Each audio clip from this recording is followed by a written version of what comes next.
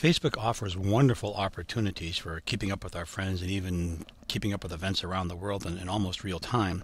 Facebook also offers some problems. Uh, this video will show you how to protect yourself using the Facebook privacy settings.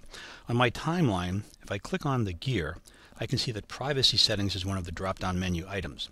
In privacy settings, I can restrict who can see my stuff and I can restrict who can look me up. Under who can see my stuff, if I click edit, I can tell Facebook who I would like to see my future posts going forward. Here I have acquaintances checked and I can choose any of the items I would like to here. I'll leave it at acquaintances, that's where I want it. I'll just close this window out. Notice you can also review where you're tagged, and you can also review, um, limit the audience of people looking at your posts in the past. So past posts can be limited right here.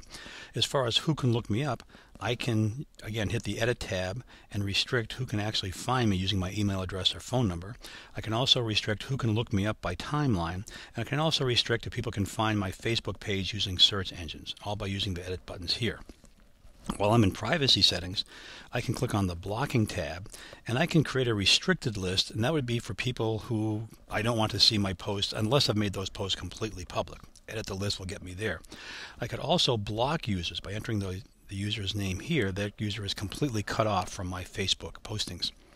I'm going to go back to uh, my Facebook page here that shows posts from my friends and show you one other method for taking care of problems if I have a problem with this friend here, I can simply click on his icon and you'll see that I'm on his page or his timeline and under the messages corner I can either unfriend this person if this person has been bullying me or bothering me or I can report the kind of behaviors this person has placed on my Facebook.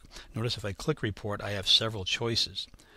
Now, I'm not going to uh, block or unfriend this person because he's an old friend and I think I'd like to keep him around for a while, but you can see that you can take care of this when you have problems with other people. So Facebook is a great tool. Use it to your enjoyment, but also be smart and protect yourself.